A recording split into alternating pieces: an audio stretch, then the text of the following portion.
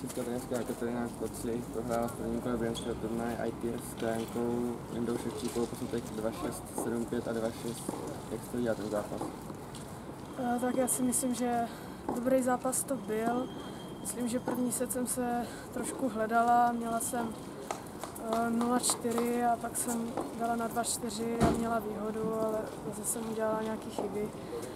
V tom druhém jsem taky prohrávala 2-4 a pak jsem to nakonec otočila a tam jsem se, myslím, že jsem se chytla, hecla jsem se a šlo to.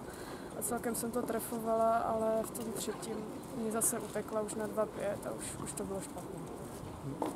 Soupeřka v první se dostali do vedení 4-0, snažila jste se nějak měnit svůj herní styl nebo taktiku? Tak eh, zjistila jsem, že když to do ní budu pálit, tak to asi, eh, tak to asi moc nepůjde, protože jí tam fakt chodilo všechno dneska. A tak jsem trošku zvolnila, začala jsem hrát čopy a zkoušela jsem víc měnit rytmus a trochu se mi vyvedla z rytmu. Ve druhé se byla soupeřka taky napřed, věřila jste stále, že můžete ten druhý se ještě otočit? Oh, no, to bylo, to jsem až tak nevnímala, spíš jsem se snažila fakt jít do toho a říct si, že aspoň do toho třetího bych ještě mohla jít, aby to, abych nešla tak rychle z kurtu. Snažila se tu herní pohodu přenést z té druhé sady do toho třetí sady?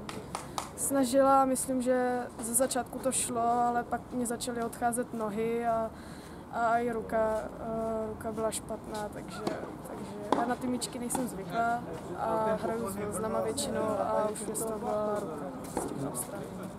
Se jedná u vás nějaký dlouhodobější problém, nebo to bylo jenom dneska z délky toho zápasu? Já jsem byla před tímhle turnajem, jsem tři dny ležela, byla jsem nemocná, takže jsem byla nerozehraná dost a, a bylo to, nevím, hledala jsem se, no, to nevyšlo dneska.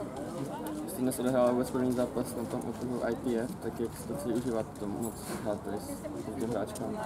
Eh, Když jsem to zjistila minulý týden, tak jsem si řekla, jo, super, super, úplně. Byla jsem natěšená a i všechno tady bylo super, hrozně se mi to tu líbilo a chtěla bych jít znovu. A to dopadne s Hanou Pektovou čeká ještě čtyřma, tak jak se těšíte na první vzájemnou spolupráci, nebo co to očekáváte? Tak já naše, naše soupeřky znám jenom podle jména. Nikdy jsem je neviděla, ne, nesetkala jsem se s nima osobně, ale, ale vím, že to jsou jména jako celkem chválený a že hrajou dobře a na ten zápas se těším. Nedávám moc šance na výhru, ale těším se. Díky moc. Díky.